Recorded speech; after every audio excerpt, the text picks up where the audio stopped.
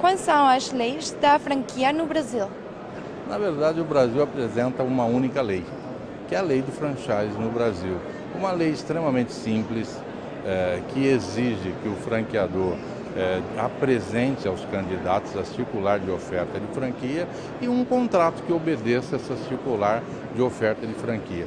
Essa lei, ela, é, eu acredito, pela facilidade, pela simplicidade da lei, ela ajudou muito a desenvolver o franchise no Brasil, não complicando, simplificando a situação. Hoje no Brasil nós temos uma lei simples e temos a Associação Brasileira de Franchise, que é muito atuante.